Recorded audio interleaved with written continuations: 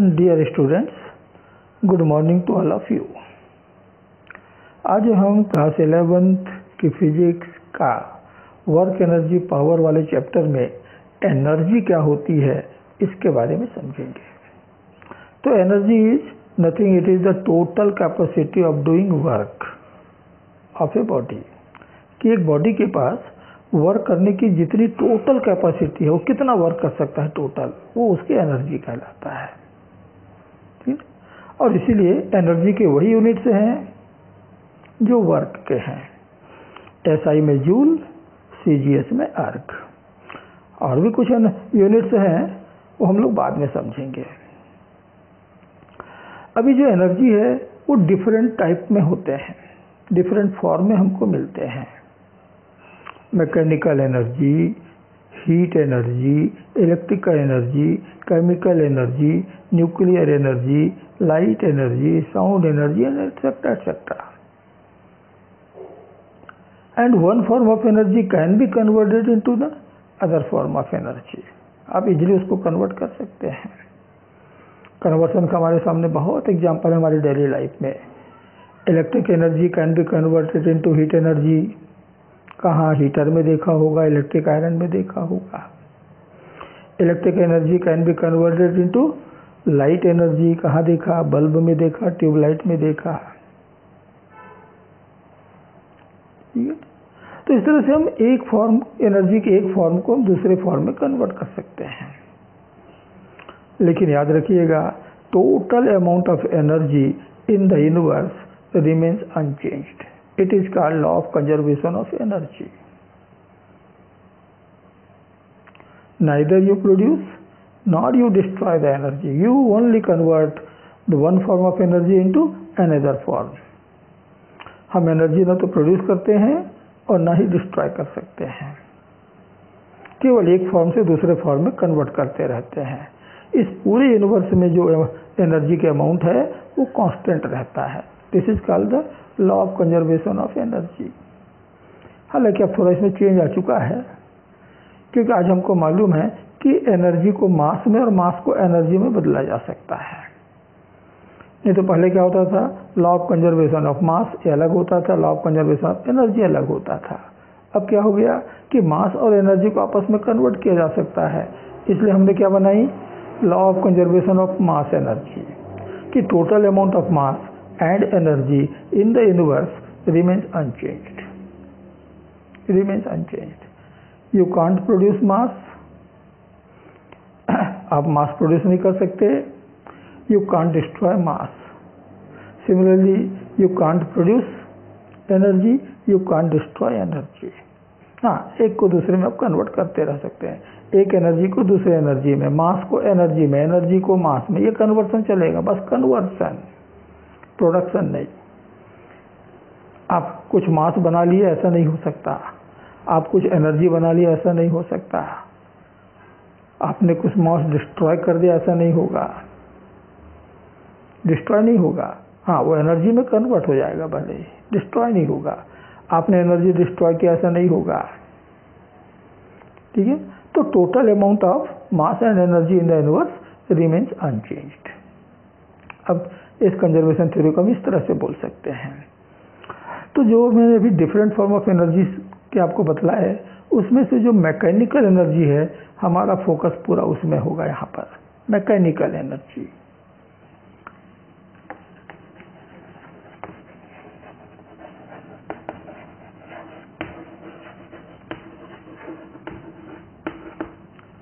तो what do mean by the mechanical energy the energy gained by body body due to motion or position or deformation is called the mechanical energy. The energy gained by a body due to motion or position or free formation It's called mechanical energy.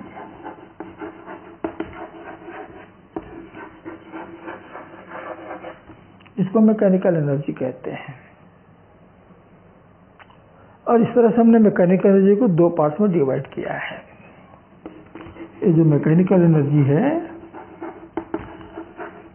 इसके दो types हैं एक कहलाता है kinetic energy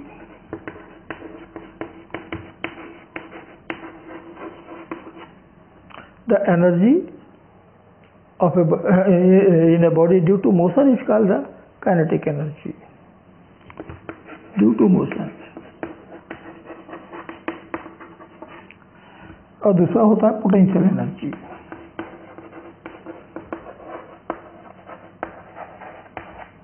इसका कारण होगा due to position or deformation position और डिफॉर्मेशन इनके कारण जो एनर्जी आती है हम कहते हैं पोटेंशियल एनर्जी एक बॉडी जो है मोशन में आ गया उसके पास वेलोसिटी आ गया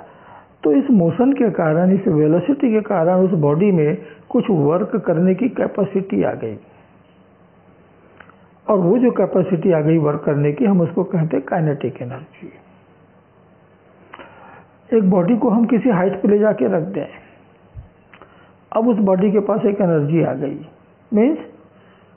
वर्क करने की कैपेसिटी आ गई that is the potential energy हमने स्प्रिंग को पकड़ के खींच लिया है अब उसके पास एक एनर्जी आ गई क्यों आई ड्यू टू डिफॉर्मेशन उसकी लेंथ हमने बढ़ा दी तो due to this elongation some energy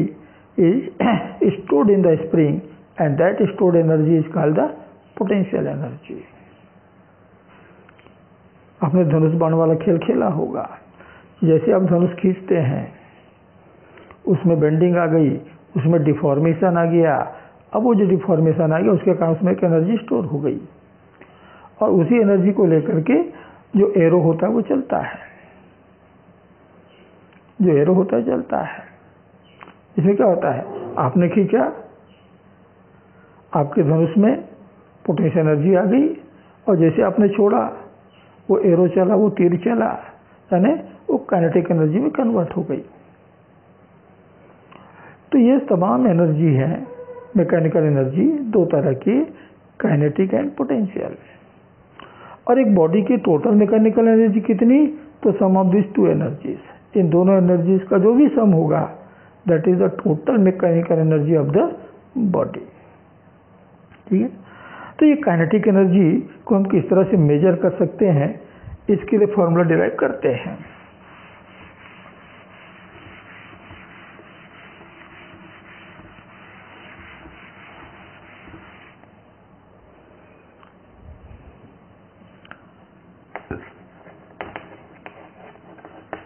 kinetic energy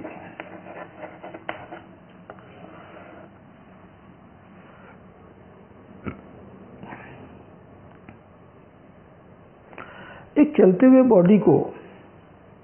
रोकने के लिए रेस्ट में लाने के लिए आपको जितना वर्क करना पड़ता है that is the kinetic energy of the body उसी को हम उस बॉडी की काइनेटिक एनर्जी कहते हैं the work required to stop a moving body a moving body is called its kinetic energy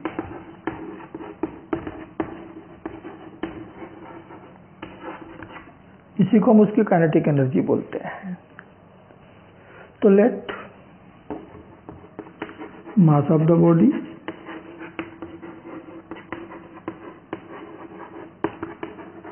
is equal to M and initial velocity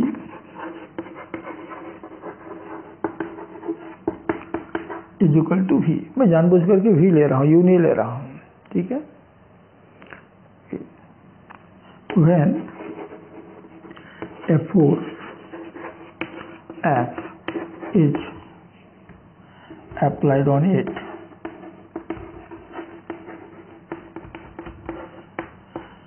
it stops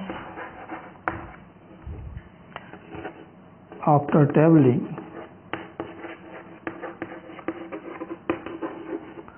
a distance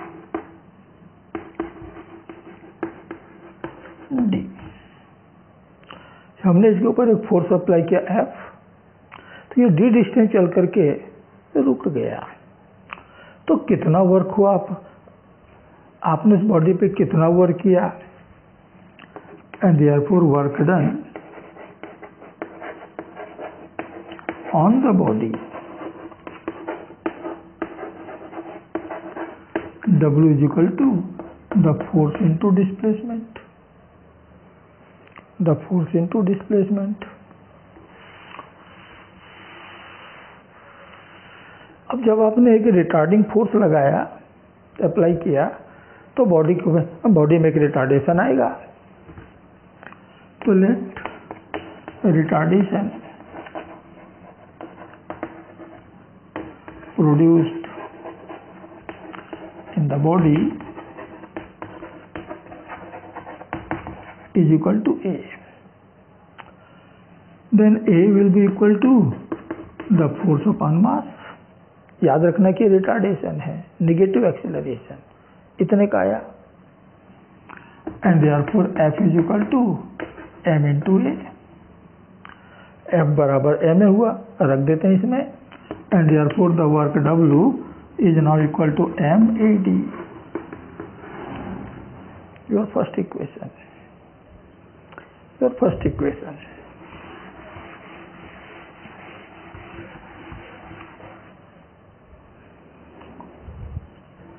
Since initial velocity ये बराबर भी है final velocity बराबर zero है last में body रुक गई है रिटार्डेशन बराबर ए है and distance is equal to T है हमें final initial initial final acceleration displacement ये सब मालूम है टाइम नहीं दिया है तो जब टाइम ना दिया हो तो हम थर्ड इक्वेशन लगाते हैं तो from third equation of motion क्या है V square equal to U square plus two S तो वी की जगह जीरो यू की जगह वी ए की जगह माइनस टू ए एस की जगह डी एस की जगह डी नेगेटिव क्या है क्योंकि रिटार्डेशन है रिटार्डेशन मीन्स नेगेटिव एक्सेलरेशन तो two A D equal to V square और A D is equal to V square by two तो from equation one the work done will be equal to m into V square by two इतना work तुमने किया तो रोकने के लिए जितना वर्क हमने किया उसी को तो काइनेटिक एनर्जी कहते हैं तो since kinetic energy of the body is equal to W and therefore the kinetic energy is given by half M V square half M V square SI में मेजर कर रहे हो तो जूल में है सीजीएस में मेजर कर रहे हो तो अर्ग में होगा इतना मिलेगा अब ये जो एनर्जी है काइनेटिक एनर्जी याद रखिए ये दो बातों पे डिपेंड कर रहा है the m mass and v square the velocity का स्क्वायर किसी भी बॉडी का मास हमेशा पॉजिटिव होता है आपने निगेटिव मास कभी नहीं सुना होगा आपने जीरो मास कभी नहीं सुना होगा ये हमेशा पॉजिटिव होता है और जो स्क्वायर है स्क्वायर भी हमेशा पॉजिटिव होगा कभी निगेटिव नहीं होता वेलोसिटी चाहे पॉजिटिव हो वेलोसिटी चाहे निगेटिव हो आपने स्क्वायर कर दिया तो पॉजिटिव होगा और इसलिए काइनेटिक एनर्जी एक ऐसी एनर्जी है जो हमेशा पॉजिटिव होता है ये कभी निगेटिव नहीं होगा ये कभी भी निगेटिव नहीं होगा kinetic energy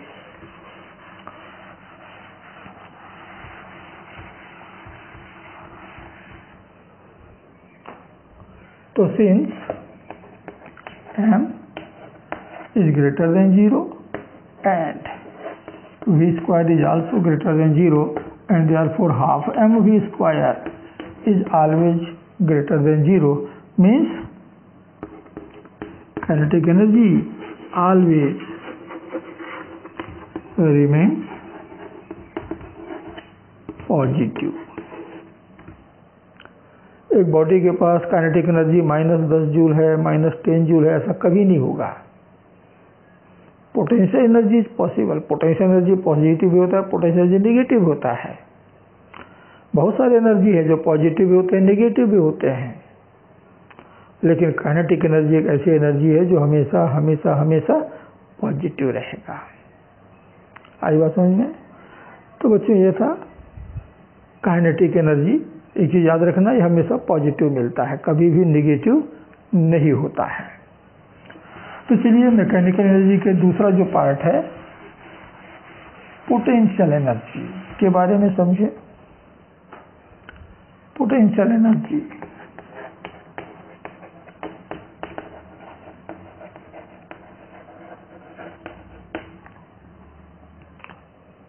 तो जैसे मैंने शुरू में कहा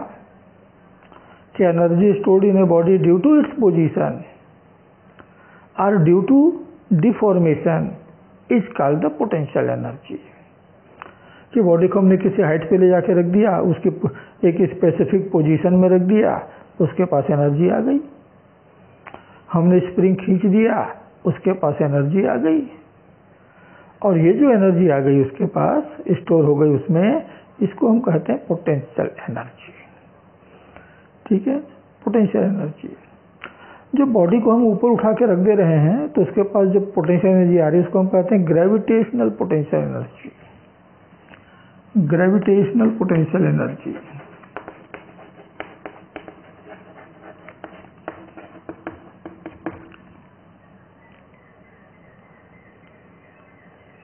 तो क्या होता है when some work is done on a body against gravity against gravity then this work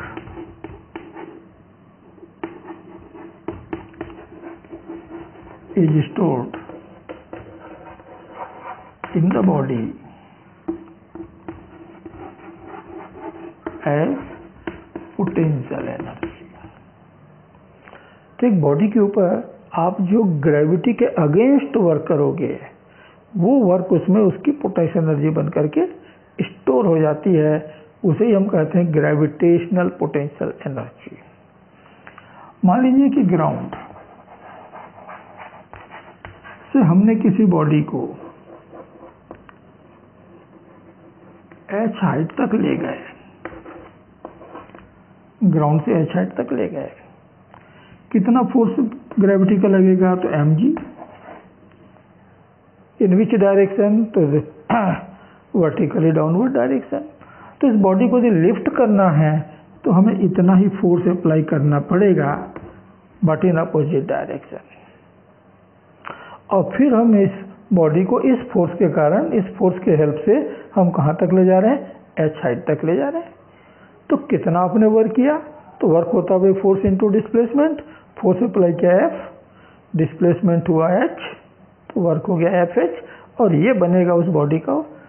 gravitational potential energy ठीक है तो let mass of a body equal to M body का मास एम है देन वेट बराबर हो गया M G wait उसका मिल जाएगा एम जी के बराबर in order to lift the body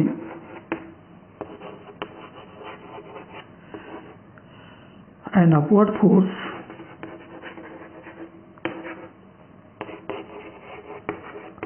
F equal to M G is required lift करना है तो इतना फोर्स तो आपको अप्लाई करना पड़ेगा तब तो बॉडी लिफ्ट होगा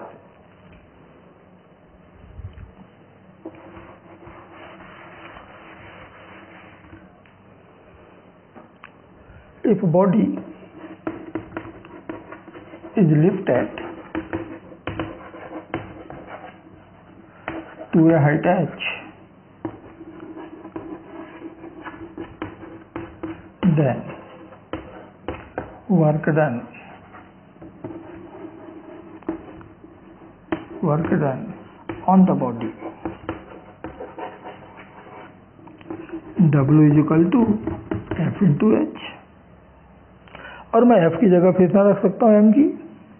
तो it is equal to M G H इतना वर्क आपने बॉडी के ऊपर कर दिया है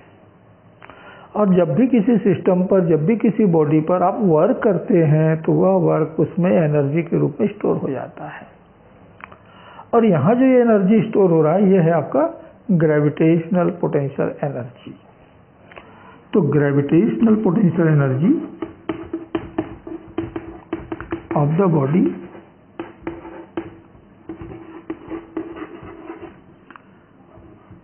U बराबर W is equal to M G H तो इतना पोटेंशियल एनर्जी आपके बॉडी के पास होता है एम जी एच राइट ठीक ग्रेविटेशनल पोटेंशियल एनर्जी ठीक इसी तरह से आपने किसी स्प्रिंग को पकड़ के खींच दिया स्ट्रेच किया लंबाई बढ़ा दी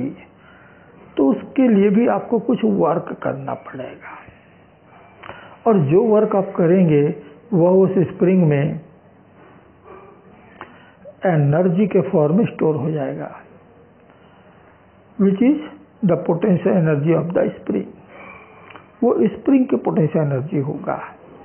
तो कितनी एनर्जी वहां पर स्टोर होगा ये भी जरा निकाल लेते हैं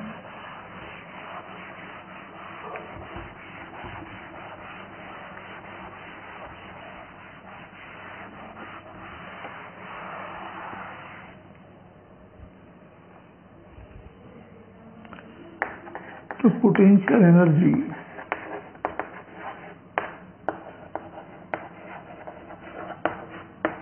of a spring.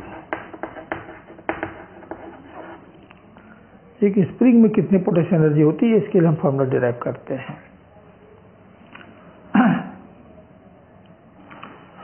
since the force applied on a spring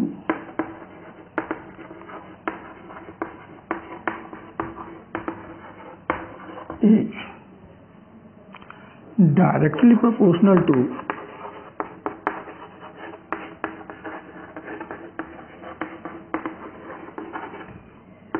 directly proportional to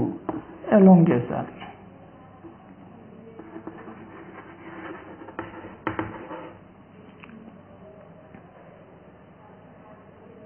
ठीक है कि उसकी लंबाई कितनी बड़ी उसी के प्रोपोर्शनल होता है means F is proportional to X यहाँ एक्स क्या है चेंज इन लेंथ x क्या है एलोंगेशन चेंज क्या है increase in length and therefore F is equal to a constant into X this constant K is called force constant of the spring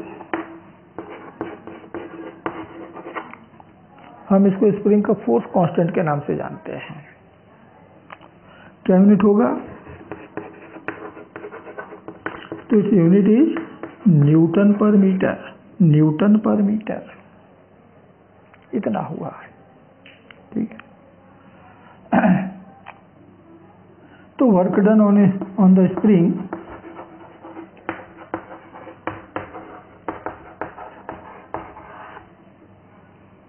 during small elongation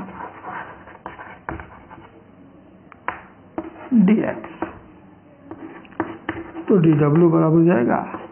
force into D X means K X D X इतना work आपने किया एक थोड़े से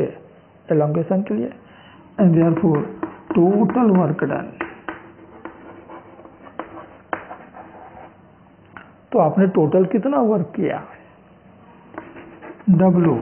is equal to integration of K X D X from zero to X from zero to X तो एक simple से integration है के तो कांस्टेंट है बाहर हो गया एक्स को आपने इंटीग्रेट किया तो आपको मिल जाएगा X square by two limit zero to X so it is equal to half K X square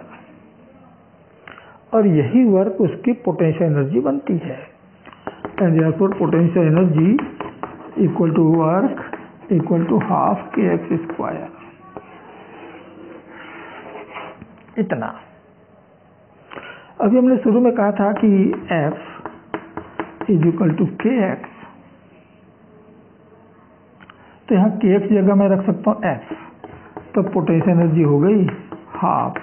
F into x एक एक्स बच जाएगा और x की जगह मैं रख सकता हूँ एफ बाई के भी तो since x is equal to F by K तो एक जगह में मैंने एफ बाई के रख दिया तो स्प्रिंग की एनर्जी आ गई potential energy is equal to F square by two K F square by two K and therefore potential energy of a spring can be given by half kx square half fx या half f square by k ये तमाम फॉर्मूले होंगे कि spring की energy के लिए